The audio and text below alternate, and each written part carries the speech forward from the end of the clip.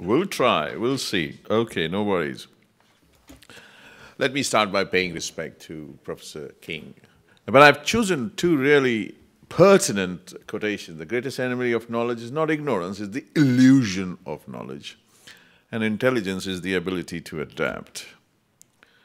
Oh. Now, I've always been very wary about the term mitral valve, and uh, you know, we've attributed it to Andreas. And frankly, if you look at the plain view of the mitre, it doesn't look like a mitral valve. So I think this was the first ever misnaming of a organ in the body. And perhaps Leonardo da Vinci should have got the correct um, attribute to have labeled it, but he was more interested in the subvalvular structure and may not have actually labeled it correctly either. And perhaps there should have been a Punjabi who would have labeled it. But we are here. And let's look at what we are talking about. Median sternotomy is safer than minimal invasive techniques. Okay, so, so we are talking about a singular median sternotomy versus a plural minimal invasive techniques. So not a single technique. Well, why? Well, it's a collection of techniques, isn't it? It's a collection of techniques where you have thoracotomy, direct vision, video assisted, robotic. We, we heard very good results. And various types of cannulation, central cannulation, peripheral cannulation, different pathologies. And there's always been a debate about infective endocarditis. It's something which is dear to me. Um, so essentially, you want to do the same operation, reach the mitral valve through a narrow neck with a long distance. You can see it directly, but hey, we're going to do it standing far apart rather than go through a wider incision. Well, just, again, just a, a quick depiction. So there's no standardization. We agree for that. It's a surgeon and institution preference and experience. And I'll touch very little on concomitant procedures because it's probably outside the remit of this talk. But generally, we are doing a lot of concomitant tricuspid AF ablation and occlusion. You saw so many talks in the first session about that. Uh, so what's the difference? Is the difference only incision and it's smaller? Well, yeah. But when it comes to CPB and cross clamp, longer? And there are various issues, isn't it? There's, there's venous drainage issues. There's many other issues, retrograde blood flow, central cannulation. I covered that. But it does translate into a perceived benefit. Now, this is perceived. You, you saw, you know, there is no data. The perceived benefit to whom? Patient or actually the surgeon and the institution? I won't go into anything to do with DRG in Germany or anything in the US but in the UK, we've got to be very fair. We are balancing cost versus effectiveness because it's the NHS. So there are no capitalist issues here that would actually influence my practice. And, and know, quite rightly said, equipoise. Well, you could define equipoise, but not really. Randomized studies are available. I'll go through a little bit. And specific characteristics of patients who undergo these operations are quite different. So can we compare them? We can't. We've got really a lot of improvement on echo, so we, we know now that the repair rate is very high. We don't really want to. A lot of people have published papers, including in position papers, including in uh, guidelines. But what you don't see and minimal invasive is not mentioned. We talk about intervention, we talk about repair, we talk about referral to an intervention, we talk about referral to a repair center. But we don't have data to say that they should go to a minimal invasive center. Volkmar this is a very early paper. I bought it just for the sake of trying to create a little bit of irritation so that uh, we can say that, you know, mortality rates initially were very high, 10% but it was safe, effective, and durable as the traditional approach. And I'll go to my esteemed opponent. A couple of reviews. I'm terribly sorry for that. But this one is a very interesting review because it highlights the fact that he does expect improvement to happen, but in areas that are unlikely to be tested with traditional trials. Hey. Let's look at another one, another review, the opportunities of minimal invasive. What, what is he looking at? you know, probable search, applying the term minimal invasive, 10,000 manuscripts, seven only trials. Four mitral, just three. Look at the number of patients in each trial. Total 340, and you still have a quarter to a fifth increase in bypass and cross-clamp time. And we agree there is a pre-selection. So there is bound to be a pre-selection of patients which are highly successful to give us the best result. And we're probably not publishing the less good results, aren't we? And why is this driven for? The driven is because, of course, you go to a patient and say, I'm going to do the same operation with a big incision or a small incision. Anybody would say, but is that the right thing to do? We've got to look at durability and safety and etc. etc. So it's actually driven by a patient perceived benefit compounded by maybe an institutional benefit. Well, it is more demanding. There is a higher rate of reoperation, increased postoperative bleeding, thromboembolic, poor visualization, and you know, a lot of people, and we will look at return to normal activity. So let's try and be a genius in trying to see what we find from data. I'm sorry, my colleague who was going to talk just before me uh, couldn't be here. It would have been nice to have him here. Uh, but look at this data, okay?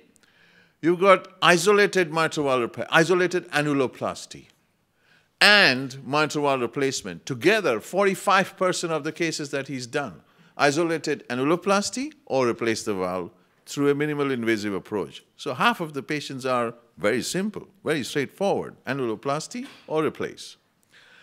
And then look at the tricuspid NAF rate, much smaller. You heard Nivad saying, I mean, you know, in, in a person of his category, he's in excess of, ninety, I was surprised, 90% is what he's saying. And of course, again, a potential bias may be there, and we have something new now come up, a learning curve. So let's try and understand what and how and what's the cosmos is. Now we are, things have improved quite a lot. We have a mitral MDT, mitral surgeon, learning curve, mitral intervention, and absolute versus relative contraindications, but there is certainly still a perception that there are con um, contraindications for that. But let's look at learning curve. This is Joe Chikwe from David Adams Group. Very nice manuscript. I would highly recommend it you look at.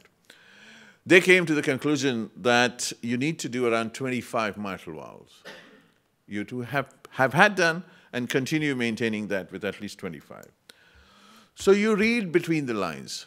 You read at many manuscripts, you need to do around 100 to 300 cases. And if practice is 25, 50 cases per year, three, five, six years. You could start by getting trained only in mini mitral and probably take less time. I'm not saying no. But this is also an important part that you need to be aware of. Let's look at another review. Um, this was obviously to see what does, why, why does the controversy still persist and all those arguments that we had. So mortality outcomes, well, fine, they're same. Well, we agree, they're no worse, we are, they're same. But what happened to cardiopulmonary bypass time? Yes, every manuscript is showing that it is worse. I, don't want to go into another manuscript of showing that bypass time more than 90 may be detrimental, but of course that was there. And maybe we have improved the bypass techniques now that it doesn't matter. But look at this. When it comes to aortic dissection and stroke, maybe same, no better, but two are worse. Now everybody talks, if you don't have a trial, let's do a propensity match analysis. Well, there's one here, propensity match analysis, and they found around 97 patients, not bad.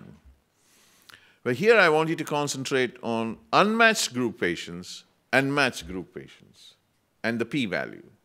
But when you look at the matched group patients, what does come out as significant? The first two, bypass and cross-clamp time. Everything else is gone.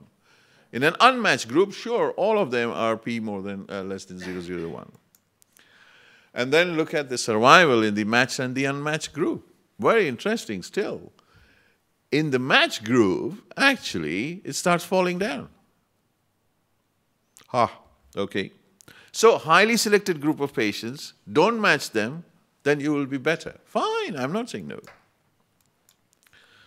And then, you know, we, we, we will wait. Again, Minimitral will look at the physical, psychological component, but this um, uh, matched study did that and did not find any difference.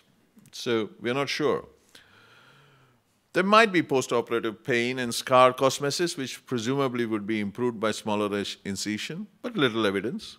There are some surveys, but there is actually no uh, comparison. Yeah. Now, I won't go too much, but tricuspid intervention, okay, we are trying to do a operation, minimal invasive, on the mitral, protect the right ventricle, knowing that the right ventricle tricuspid regurgitation is a functional tricuspid regurgitation, is not an organic disease. We want to put an annuloplasty ring, not protect the RV that well, and still complete the operation with an increased bypass time and not sure that the RV is that protected. AF ablation. I, I, you heard, again, a very good talk before me of, about all the lesion sets that you need to do and what are the relative rates of success. But the most thing which is also very dear to me is the left atrial occlusion. Minimal invasive, a lot of people say we'll stitch it from inside. And you read manuscripts, there's a 30% failure rate, a 30% reopening rate, a 30% recanalization rate when it is stitched from inside. And I'm not even going into talking about remodeling because we haven't looked at that and we will take many years to get into that. So what are we going to talk about finally? You heard, you know about Venn diagrams and the overlapping Venn diagrams that gives you a overlapping patient that could be applied to both the categories. I'm going to introduce you to something called the Punjabi triangles. Sorry about that, because I wasn't able to risk stratify the Venn diagram, but I was able to risk stratify the triangle. So you have this big triangle, median sternotomy, with a lot of patients who may not have good ventricles, multiple procedures, complex procedures, and undergo an operation. I'm, I'm just concentrating on mitral. But there is definitely a small, low-risk, isolated, highly selected group of patients that could have minimal invasive surgery and have good outcomes, but certainly not for everyone. Why? Because if it is not durable, you will have to come back and pay the fine. And I'll end by Sapiens. If you haven't read it, give me your name and address. I'll send a free book to you. It follows that in order to change an existing imagined order, we must first believe in an alternative imagined order. The most important part is there is no way out of the imagined order. When we break down our prison walls and run towards freedom, we are in fact running into the more spacious exercise yard of a bigger prison. Thank you very much.